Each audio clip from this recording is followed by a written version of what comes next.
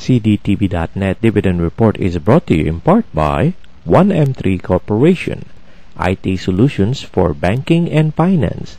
Call them at 917-686-3485. I'm John Hanna, and here are the CDTV.net Dividend Report for Wednesday, February 3rd, 2010. CDTV.net covers dividend-paying stocks earnings reports, dividend announcements, and company profiles. But first, here's today's CDTV.net top stories. Emerson Electric Company announced diluted earnings per share for the first quarter were down 7% to 56 cents per share from 60 cents last year. Analyst average estimates were 42 cents per share.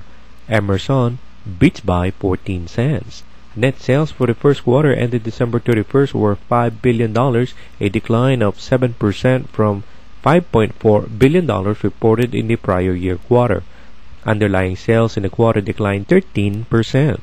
Emerson Electric Company, a diversified global technology company, engages in designing and supplying product technology as well as delivering engineering services and solutions to various industrial, commercial, and consumer markets worldwide. Marathon Oil Corporation reported net income, excluding items, were 32 cents per diluted share compared to net income of $1.44 per diluted share last year. Analyst average estimates were 51 cents per share. Marathon Oil misses by 19 cents. Net income adjusted for special items were $229 million compared to net income adjusted for special items of $1 billion for the fourth quarter of 2008.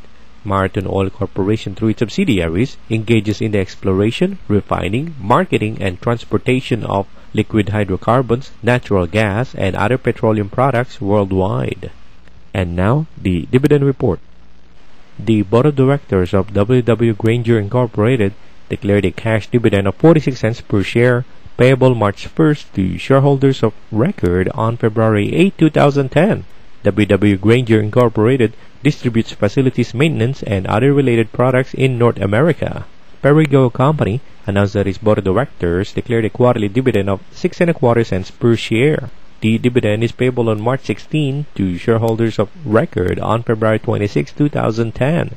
Perrigo Company, through subsidiaries, develops, manufactures, and distributes over-the-counter and prescription pharmaceuticals, nutritional products, active pharmaceutical ingredients, and medical diagnostic products worldwide.